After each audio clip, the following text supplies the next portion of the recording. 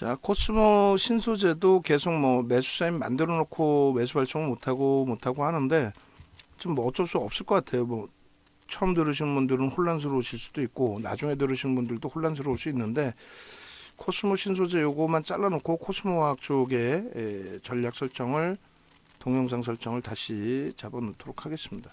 그럼 이쪽의 기준은 오늘 기준은 이제 9만 어, 7,800원, 음, 8,700원인가요? 예, 98,700원에 종목 검색기에서 떴고, 음, 그리고 이제 코스모화학은 지금 거래가 못 미쳐서인지 예, 종목 검색기에는 뜨진 않고 있어요. 어, 그리고 이쪽은 이제 고점을 넘길 때 10만 8천 원에서 또 편입의 기준을 설정할까 문자 뭐 만들고 있는 과정 속에서 역시나 프로그램 쪽의 수급을 저로서는 들여다보고 있는 건데 손바뀜이 됐을지 아니면 짧은 차익 실현 구간이 설정이 된 것인지 어찌됐든 고점 찍고 밀리면서 또 프로그램 수급이 또 축소됐단 말이에요. 16만 주 뭐 이런 수준에서 그러다 보니 뭐 여러분들의 소중한 자산인데 그냥 덜컥덜컥 그냥 매수 이렇게 하기에는 부담이 된다라는 거죠. 어. 그래서 오늘은 이렇다 할 문자 쌓인 지금 계속 못 나가고 있어요. 어, 못 나가고 있고 그리고 그 부분에 있어서 2차 전지 쪽 압축 전략을 설정해 드리고 있는데 LG화학이 또 그리고 또 포스코 케미칼도 마이너스에서 돌리지도 못하고 있어서 압축한 흐름에 대한 부담 요인 아쉬운 부분이 좀 더 있긴 합니다만 그래도 어, 전략 그대로 갑니다. 이렇게 하고 이렇게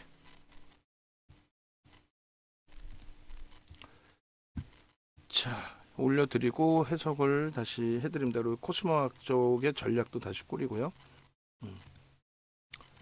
뭐 간단하게 정리를 하면은 일단은 이제 코스모 신소재 쪽의 기준은 어찌됐든 에, 매직 계산기에서는 계속해서 나와 있었고 응? 자 봅시다 어. 그리고 종목 검색기 캡처해서 그 만들어 놓는 것도 10시 정도까지만 해서요 10시 넘어서는 크게 신경 안 써도 되니까 어? 분명히 그것도 얘기를 해드린 부분이야 10시 이후에 뭐 오늘처럼 10시 이후에 2차 전지의 변동이 확대되면은 필요할 수 있겠지만은 그거에 매달려서 나머지도 못한다? 무슨 의미가 있어요, 그게? 그거 뭐 캡처하는 사람들도 아니고. 지금 코스모 신소재 같은 경우는 그 10시 18분 기준에 98,700원에 편입 설정 범위가 잡혔단 말이에요. 그러니까 이 종목 검색기 뭐 음, 모바일에서 좀 가지고 계시는 게 유리하다라는 말씀 드리는 거고 그리고 이렇게 PC 버전에서는 종목군들이 전부 다 나와요. 10시 기준 뭐 13시 기준 뭐 이렇게 했을 때 그렇게 했을 때 진입 범위가 이제 99,500원 이렇게 설정돼 있는데 조금 전에 보신 것처럼 98,700원에 보실 수 있다. 그러니까 이 진입 이 흐름들이 초록 색깔로 이제 박스 쳐드린 저런 부분에서도 나올 수 있어요. 그러니까 시간 지나고 다시 눌러버리면 지금 1분 봉인데 다시 누르면 이게 이제 없어지는 경우가 있는데 어찌됐든 조금 전에 이제 MTS 쪽 캡처해서 올려드린 부분은 98,700원이에요. 여러분들이 갖고 계시면 이제 어느 가격에서든 조금 더 일찍 보시면서 대체 기준을 잡아가실 수 있겠죠. 음, 그런 맥락에 좀 놓고 보시고 그리고 그 결론적으로 코스모 신소재는 고점을 넘길 때 15만 주, 16만 주까지 예, 수급 범위가 형성이 돼 있었는데 아쉽게도 계속 그 고점 찍고 나서 흐름은 프로그램 쪽에서 또 매도가 나와 버린단 말이에요.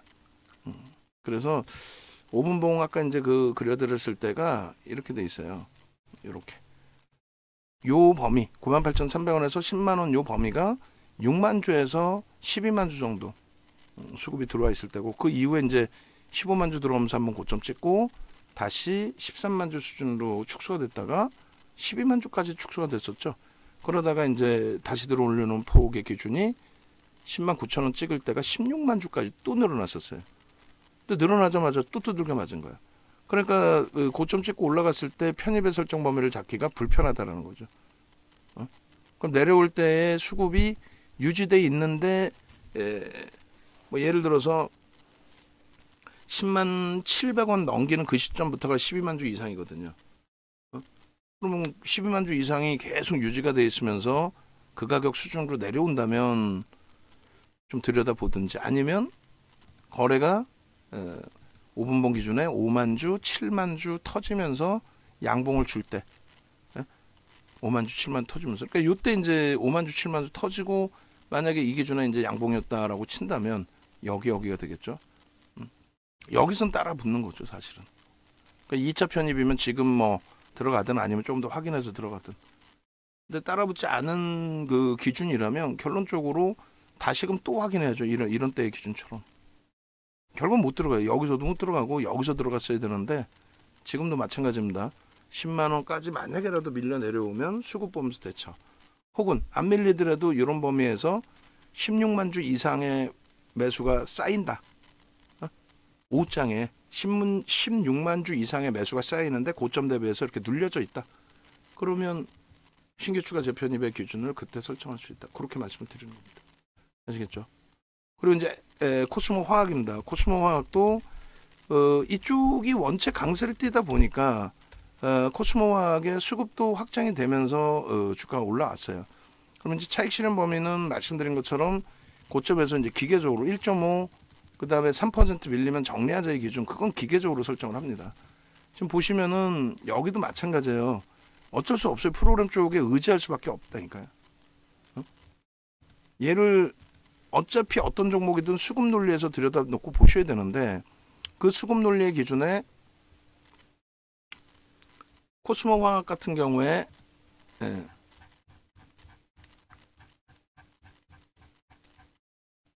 음. 요 기준에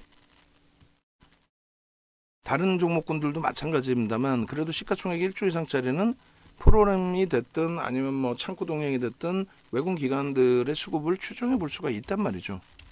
어? 그럼 외국 기관의 수급 논리를 추정해 보고 거기에 맞게 이제 대처를 하면 되는데 일단 프로그램 쪽의 수급이 9시 기준에서부터 긍정적으로 나왔어요.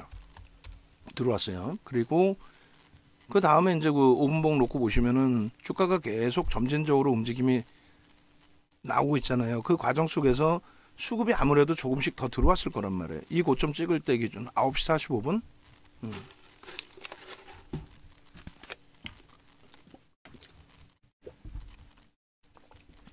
그럼 요때가 한 3만 주? 그죠? 4만 주? 뭐 이렇게 눌리면서 이제 수급이 더 들어왔고 4만 천 원 뭐 이렇게 하고 있을 때 그럼 10시 여기를 일단 먼저 찍을까요? 어, 요 기준의 고점을 형성할 때의 기준까지 9시 45분까지가 3만 주대 음, 그 정도? 9시 45분 4만 주 음, 4만 정도 됐겠네 그죠? 음, 여기서 보죠 뭐 요 기준에 9시 30분 30분 35분 음, 오케이 요 기준에 뭐 3만 주 4만 주, 3만 주, 음, 50분, 3만 5천 주, 4만 주, 뭐 이렇게 놓고 보시죠. 그렇게 해서 어, 수급은 오히려 이제 조금 꼬여져 있는데 예, 주가는 좀 올려놨던 부분 그렇게 해서 어찌됐건 해석은 고점이 넘겨지는 가운데서 프로그램 쪽의 수급이 일단은 형성돼 있었다. 음. 그리고 거기서 이제 그 눌려졌을 때 추가적인 매수 강도가 계속 들어온 거죠. 눌려지고 다시 이곳 좀 넘길 때 11시 기준으로 놓고 봅시다. 11시 기준점에 5만 주 정도 수준까지 형성이 됐네요. 11시, 10시 50분 이 기준에. 그럼 여기 하나 더 그려놓고. 그러면 거의 비슷해진단 말이에요. 뭐가? 코스모 신소재하고 비슷한데 매수 강도는 코스모 신소재가 월등히 높은 거죠. 음, 이렇게 해서 10시 55분으로 기준 잡을게요. 5만 주. 그리고 지금 얼마예요? 지금 다시 5만 8천 주, 6만 주인데 고점 찍을 때 기준의 수급이 이제 확인하면 된다 이거예요. 고점 찍을 때 기준. 결론적으로 쭉 수급이 악화돼 있다가 어, 요 고점을 넘긴 게 이제 요 위치가 되는 거고 거래는 이제 좀 많이 이, 이렇게 실려 있지는 않고 둔화돼 있는 그런 상황이었고 대략적으로 뭐 4만 1,950원이니까 4만 2천 원 요 정도 범위로 해석을 하면 되고 그리고 어, 이렇게 당겨 놓겠습니다. 그렇게 하고 요것 좀 넘기고 요것 좀 나머지 고점들 여기까지 이제 형성했을 때 기준에 가장 많이 들어왔던 부분이 6만 주, 어, 6만 3천 주. 그게 12시 15분 20분 15분 20분 그때도 수급이 별로 없었고 오히려 이제 그 이후에 여기서 미끄러질 때 수급이 조금씩 들어와요. 그럼 요 수급이 확장이 되면 어? 그렇다면은 뭐 신규 추가 재편입을 하든 근데 오늘은 멈춰 있을게요. 어차피 이제 압축하자고 했고 월등하게 에, 거래가 더 터져주고 지금 12시 40분이다. 250만 주, 300만 주 고점을 또 넘기면은 뭐 어, 그 흐름은 나올 수 있을 것 같아요. 어, 일단 어찌 됐든 여기는 뭐 프로그램이 좀 더 들어오면서 흐름이고 개인 선호 창고 키움도 좀 매도의 흐름이니까 일단 뭐 긍정적으로 놓고 보면서 해석을 해보죠. 뭐. 수급이 어디까지 더 들어올런지. 그래서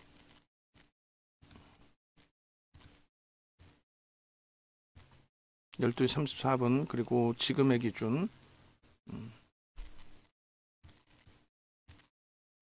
고점을 찍을 때 수급도 한 번 더 자를게요. 음. 고점을 찍을 때 지금 수급하고 지금 오히려 5만 8천 주 10시 40분, 12시 40분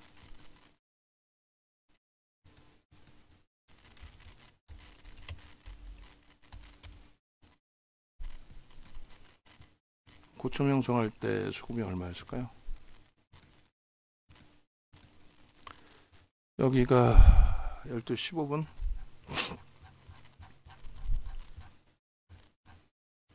그러니까 뭐 수급 변화 없이 고점을 일단 형성했던 거고 응? 그죠?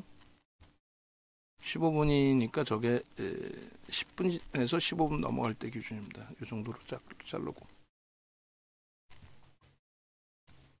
밑에서부터로 따진다면은 수급이 확장되지 않는 범위에서 어, 주가가 올라왔던 거고요. 고점을 찍고 눌린 폭에서 따지면은 고점 찍고 눌릴 때 프로그램에서 수급이 좀 더 들어오는 걸로 해석을 할 수 있는 거고 어찌됐든 결론을 내겠습니다. 결론 부분은 기계적으로 고점 대비해서 1.53% 밀리면 에, 정례 기준을 잡고 차익 실현의 기준을 잡고 그리고 어, 여기서 이제 추세 강화로 연동이 되기 위해서는 앞전 고점 넘길 때 프로그램 쪽의 수급이 월등히 더 확대되는 흐름으로 연출되어 주기를 지금 요 고점 찍을 때가 어? 요 고점 넘길 때가 어, 프로그램 쪽의 수급이 이렇게 뭐 월등하지는 않았단 말이에요. 그래서 지금 오늘 20일이고 어, 코스모 화학 쪽의 수급 놓고 보면서 어, 맞아 전략 기준을 잡을 텐데 아 코스모화학도 지금까지 단 한 번 폴더 정리가 안 돼 있어갖고 폴더 정리가 간단하게만 제가 모아놓고 새로 만들기 폴더 저도 지금 두 개를 못해요. 하나 폴더 만들면서 뭐 얘기를 하면은 바로 그냥 횡설수설 돼버리니까. 그러니까 폴더 만들 때는 아무것도 못하고 또 그대로 폴더만 만들어야 되고. 코스모학도 꽤 매매 세인 나갔는데도 불구하고 지금 폴더가 아예 생성 자체가 되어 있지를 않아요. 매번 그걸 했었는데 지시를 안 하니까 안 돼 있어도 뭐라고 안 하니까 22년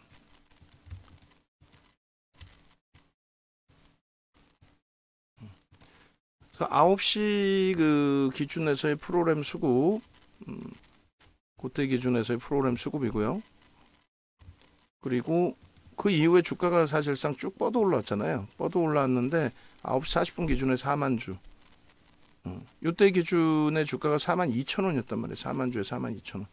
그리고 이제 10시 55분에 고점을 넘길 때 기준이 5만 2천 주인데 지금 뭐 5만 9천 주, 6만 주 수준에서 음, 뭐 아주 높은 변동률은 아니죠. 4만 2천 원 대비해서는 그렇다 손 치더라도 조금 부담스럽습니다. 그러니까 이 그 흐름이 그러니까 최소 범위 한 10만 주 정도 넘겨주면 좋을 것 같아요.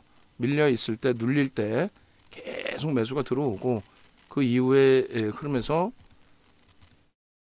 눌려질 때 프로그램 매수가 계속 들어와서 한 10만 주 가까이 들어오고 고점을 넘기면 좋지 않을까. 물론 이제 한 7만 주, 8만 주 정도에서 고점 넘기면 또 그것도 뭐 추세 강화로 놓고 볼 수는 있겠는데 현재로서는 좀 제한적으로. 그래서 우리는 일단 기계적으로 대처를 합니다. 정리의 기준 잡고 재편입, 추가 편입, 뭐 신규 편입 뭐 이렇게 기준 잡으려면은 그 부분은 거래량 기준에서는 최소 10만 주, 어, 5분봉 기준에 최소 10만 주 어, 정도가 형성돼 줘야겠다. 그래야 나머지 부분의 거래량 부분이 뭐 250만 주까지 향해서 갈 수 있지 않을까. 아니면 여기서 눌리게 되면 200만 주 정도로 끝난단 말이에요. 그렇게 되면 뭐 천억 좀 못 미치는 수준. 자, 최종적으로 음, 차익 실현 음, 기준으로 좀 설정을 하시고 음, 정리되는 물량은 쉽진 않겠습니다만 LG와 포스코 케미칼로 옮겨 놓으시고 음, 그렇게 대처를 하겠다. 코스모 신소재나 코스모화학이나 수급 범위 확인하고 대처의 기준을 잡자. 에, 이렇게 설명을 드립니다. 그리고 오늘 이제 뭐 에코프로, 에코프로 BM 에, 나머지 2차 전지 쪽에서는 저점 대비 잘 돌리고 있는데 오히려 거꾸로 개장수의 방어가 됐던 포스코 케미칼이나 LG화학은 오히려 훅 하고 미끄러져 있고 어, 여러모로 이제 심기가 좀 불편한 상황이 됐는데 예, 일단 정리하는 쪽은 정리 기준으로 잡겠습니다. 이것도 무조건적인 정리는 아니에요. 무조건적인 정리의 기준이 아니라 수급이 좀 더 들어와 주고 거래 터져야 되는데 그게 제한적인 상태에서의 강세니까 그래서 한 발짝 좀 빼놓자라고 말씀드리는 겁니다. 아시겠죠? 만약에 나는 계속 가져간다 하시면 계속 질문 주세요. 예. 일단 저는 정리 기준으로 잡아드렸습니다. 그리고 다시 보자의 기준으로.